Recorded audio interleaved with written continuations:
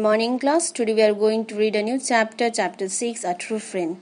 Sanjay and Javed have known each other for a while. Sanjay's father used to wash cars in Javed's building. The two boys met every day and became good friends. One evening, Javed was waiting for Sanjay. Finally, Sanjay came walking slowly.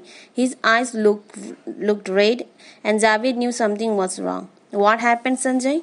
Sanjay said he had failed in his maths test. My father won't allow me to come here now. He will ask me to study. Maybe I should not tell him my marks. No, Sanjay, it's not good to hide things because you are scared. You need to own up. But Sanjay was worried about telling his father. My father will get very angry. Don't worry, I will come with you and I will help you learn maths. I find maths difficult. I can't understand numbers at all. Sanju, numbers are fun and I will show you. First, let's go and tell your father. Sanjay's father was upset when he heard that Sanjay had failed, but he was pleased to hear that Javed would teach Sanjay maths. Thank you, Javed.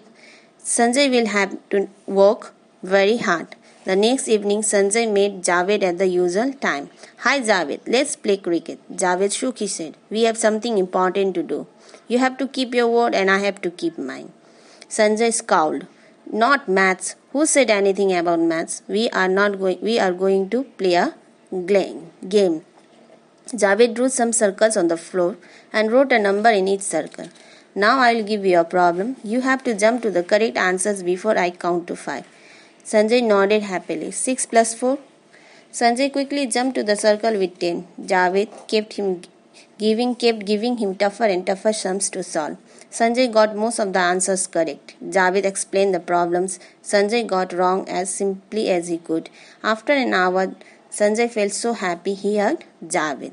For the first time, I believe I can learn math. So, Javed was a true friend to Sanjay. The moral of this